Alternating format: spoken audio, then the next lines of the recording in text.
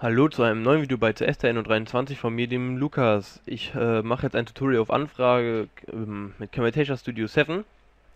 Und zwar habe ich hier ein ganz kurzes Video aufgenommen, was insgesamt 13,1 Sekunden lang ist.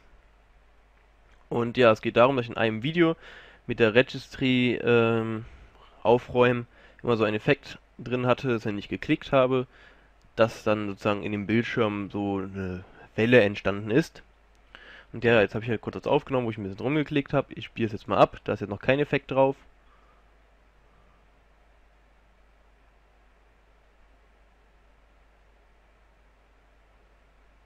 Wie man sieht, alles noch ganz normal. Und ja, jetzt wollen wir da mal den Effekt drauf packen. Dazu mache ich mal wieder ein bisschen kleiner. Gehen wir auf Cursor-Effekte. Und ähm, Jetzt können wir Markierungseffekt machen, ohne markieren, hervorheben, vergrößern.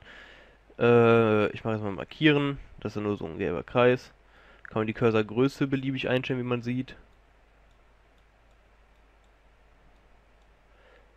Dann Linksklick-Effekte kann man dann Ringe einstellen, dass wenn man klickt, dass dann so ein kleiner roter Ring entsteht. Oder Kette Ringe, Kette, da. Das ist dann der Effekt, den ich bei dem Video verwendet hatte. Und dann noch Welle. Sähe dann so aus. Ich mache jetzt mal Kette. Den Mauszeiger ein bisschen größer. Und ja, bei dem Restklick-Effekt kann man natürlich auch noch was einfügen, wenn man möchte. Ähm, und ein Klick-Soundeffekt kann man auch noch einstellen. Lasse ich jetzt aber mal weg. Ja, hier unten in der Timeline sieht man dann auch hier mal so hier sieht man jetzt hier Cursor und dann überall so orange-rote Pünktchen.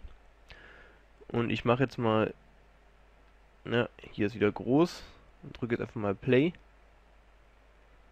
Und man sieht, da gibt's, entstehen immer so Wellen. Jetzt.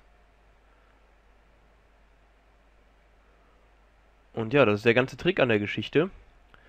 Und ja, ich hoffe, ich konnte damit derjenigen Person helfen. Und ich bin dann mal raus. Tschüss.